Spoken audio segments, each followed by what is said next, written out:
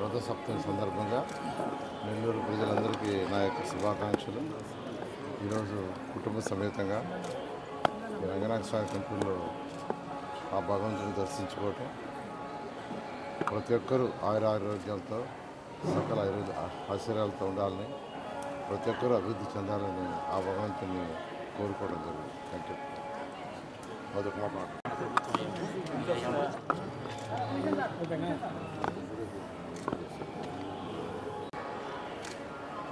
రథసప్తమి శుభాకాంక్షలు.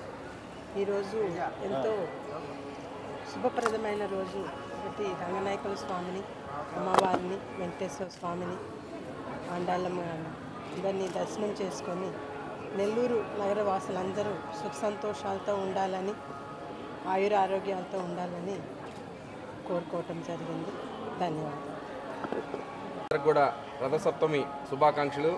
ఈరోజు స్వామివారిని కూడా అంటే గుళ్ళో కూడా ఈరోజు ఆయన స్వామివారిని దర్శించుకొని నారాయణ సారుని ఖచ్చితంగా గెలిపించాలని స్వామివారిని కూడా కోరుకోవడం జరిగింది. నగర ప్రజలందరూ కూడా సుఖ సంతోషాలతో అష్టైశ్వర్యాలతో ఆయురారోగ్యాలతో అందరూ కూడా సుఖంగా ఉండాలని చెప్పి మనస్ఫూర్తిగా కోరుకుంటూ సెలవు శ్రీ రంగనాథ పరబ్రహ్మణే నమ. నెల్లూరు పెన్నా తీరమందు వెలిసి ఉన్న శ్రీ తల్పగిరి రంగనాథ స్వామి దేవస్థానంలో రథసప్తమి వేడుకలు గత రెండు వేల పద్దెనిమిదిలో స్థాపించడం జరిగింది.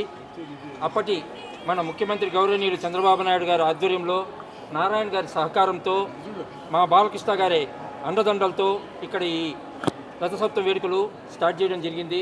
ఇప్పటికీ ఏడో సంవత్సరం ఇది. అంటే రథసప్తం అంటే ఏడు సంవత్సరాలు ఏడు అనే దానికి ఇది ఏడో సంవత్సరంగా విజయవంతంగా జరుగుతుంది.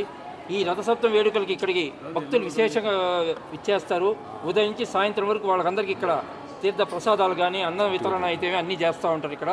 కాబట్టి ఈ వేడుకలకి ఇచ్చేసిన భక్తులందరికీ మా రథసప్తమి తరఫున ప్రత్యేక ధన్యవాదాలు తెలుపుతున్నాం. అలాగే మా నారాయణ సార్ గారిని గెలిపించి ఈ పెన్నా నది ఘాటుకి మోక్షం కల్పించాలని ఆ భగవంతుని మనస్సు పూర్తిగా కోరుకుంటున్నాం.